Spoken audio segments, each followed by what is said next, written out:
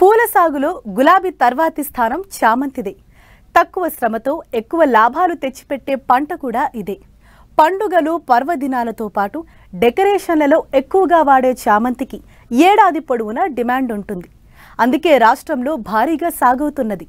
ముఖ్యంగా శీతాకాలంలో విరబూసే సువాసనల చామంతి అన్నదాత ఇంట సిరల వర్షం కురిపిస్తున్నది.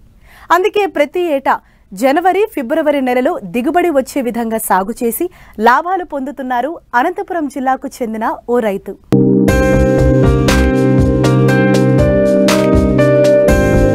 పండుగలు పెళ్ళిళ్ళు పూజలు వ్రతాలు ఇలా సంవత్సరం పొడవునా ఏదో ఒకటి ఉంటూనే ఉంటాయి. వాటి అవసరాలకి తగినట్టు పూలను సాగు చేస్తే ఇక ఆ రైతుకు లాభాల పంట పండుతుంది. దీన్నే తూచా తప్పకుండా పాటిస్తున్నారు. అనంతపురం జిల్లా నార్పల మండలం మద్దలపల్లి గ్రామానికి చెందిన రైతు లక్ష్మీనారాయణ.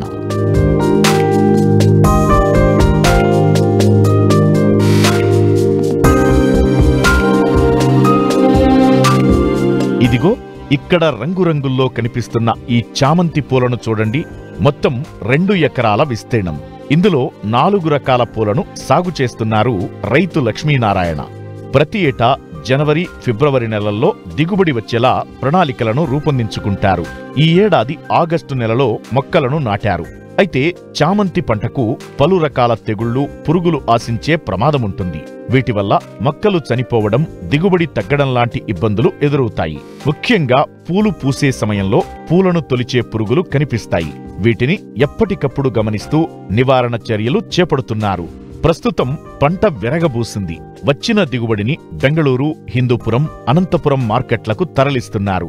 మార్కెట్లో ధర కూడా బాగా పలుకుతుండడంతో మంచి లాభాలు వస్తాయని ధీమా వ్యక్తం చేస్తున్నారు. అంటే మేము ఛానల్ పెట్టబట్టి సంవత్సరం సంవత్సరం పెడుతుంటాం. అరటి కూడా పెట్టింటి ఇంతకుముందు మళ్ళీ పూలు కూడా పెట్టిండి చామంతి పూలు నాలుగు రకాలు పెట్టినాం. ఇది రెండు ఎకరాలు. తమిళనాడు ఆడ వచ్చి రూపాయి రూపాయిన్నర పడుతుంది. మొక్క పట్టి ఐదు అడుగులు ఆర్డర్ వేసి పెడతాం. ఎకరాకు మొత్తం ఎకరాకు వచ్చి పదహైదు వేలు అట్లా పడతాయి. రెండు ఎకరాలు అంటే ఇప్పుడు ఇంతకుముందు అది బుల్లెట్ పెట్టింటి అది అది. అది అయిపోయిందే. ఇది మళ్ళీ ఎకరన్నర ఇది పెట్టినాం. అది ఎనిమిది వేలు పెట్టింటి ఇది ఇరవై వేలు ఉంది. నాలుగు రకాలు ఉన్నాయి నాలుగు రకాలు. మేము పచ్చది ఒకటి పెట్టినాము తెల్లది ఒకటి వంకపోత ఒకటి రెడ్ ఒకటి. మొగ్గ వచ్చి మూడు నెలలు పడుతుంది మొగ్గ వస్తుంది మళ్ళీ మూడు నెలలు దాటుతానే ఇంకా మనం చతలు పెట్టే కొద్దీ వస్తుంది నా నెలలు దాటాక మనకు ఇంకా చేతికి వస్తుంది పీకచ్చు. ఇప్పుడు జనవరి నుంచి మొదలు పెట్టినాము ఈ జనవరి ఉంటాయి ఫిబ్రవరి లాస్ట్ వరకు ఉంటాయి. దీని పెట్టుబడి కొట్టినప్పుడల్లా మందుకి మూడు వేలు అవుతుంది. పది డమ్ములకి మూడు వేలు అవుతుంది. ఇంకా డిప్పు మందు పదమూడు సున్నా నలభై ఐదు బోరాను తెల్లపటాసు తెల్ల పటాసు అన్నీ ఇస్తుంటాం చెట్టు పెంచుకున్నాకనే నీకు మొగ్గ బాగా వచ్చేది. లేకపోతే చెట్టు అంతలో ఉంటే నీకు మొగ్గ రాదు. చెట్టు పెంచుకున్నాక నీకు బాగా ఇడుగుతుంది. చతలు పెట్టే కొద్దీ వస్తుంది దీనికి డబ్బు అంటే ఒక డెబ్బై వేలు పైన అయింది పెట్టుబడి. ఒక మొక్కకు అయితే నా నాలుగు కోపారి అట్లా కొట్టాలా పెంచుకునేప్పుడు. నీకు మళ్ళీ మొగ్గతో ఉన్నప్పుడు పది నాలుగు కోపారి వారానికి కోపారి అట్లా మొగ్గతో ఉన్నప్పుడు బాగా కొట్టుకోవాలి మందులు. పూలు వచ్చినాక ఇప్పుడు కోత పీకుతాని మళ్ళీ కొట్టేయాల. మొగ్గ ఉంది కాబట్టి మళ్ళీ కొట్టేయాల్సింది. నీళ్ళు. ఇస్తాం రెండు నాలుగు కోపారి మూడు నాలుగు కోపారి అట్లా. తేమ ఉంటే ఇరిచేదిలే. తేమ లేకపోతే గంట సేపు ఇడ్చడమా మందు నీళ్ళు నీళ్ళు మందు ఉంటే ఇడ్చడమా ఆఫ్ చేయడం అంతే. ఒక గంట సేపు. పెట్టుబడి మందులకంతా ఒక డెబ్బై వేలు అట్లా వచ్చింటుంది. ఇప్పుడు కూలోళ్ళకు ఇంకా పీకినప్పుడు వాళ్ళకు రెండు వందలు రెండు వందలు ఒంటి గంటకు రెండు వందలు మళ్ళీ మూడు గంటల ఇంటి వచ్చి నూరు రూపాయలు ఇలా మళ్ళీ ఆరు గంటల వరకు. డెబ్బై ఎనభై రూపాయలు తొంభై రూపాయలు అయినా పర్వాలే. కేవలం ఇరవై ఇరవై ఐదు ముప్పై పోతే ఇంకా గిట్టదు. ఇంతకుముందు రెండు వందలు నూట ఎనభై కూడా కొనాయి ఇప్పుడు అంతే తొంభై ఎనభై బెంగళూరు అయితే నూరు తొంభై పోయినాయి. హిందూపురం ఎత్తించినాము ఆడ ఎనభై పోయినాయంట.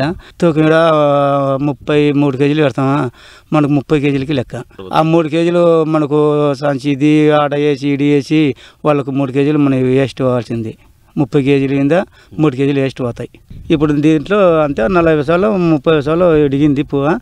ఇంకా డెబ్బై శాతం ఉంది ఇడిగేదంతా. ఇన్ని కేజీలు అన్నీ చెప్పలేము. నిన్న మొత్తం మా మూడు క్వింటాలు అయినాయి. నిన్న వాళ్ళు వచ్చినవి మూడు క్వింటాలు అయినాయి.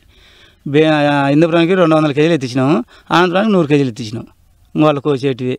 ఒకవేళ కూలీలు ఎక్కువ వచ్చి పది మంది వచ్చినాక ఒక ఇరవై ఒక యాభై కేజీలు అట్లా పెరుగుతాయి. లేకపోతే మూడు క్వింటాలే రోజు పీకుతుంటాం ఆదాయం రేటు డెబ్బై ఎనభై తొంభై పోయినా కానీ ఆదాయం దాదాపు అంటే ఒక మూడు కాడికి మూడున్నర అట్లా మూడు కాడికి రావాల లెక్క.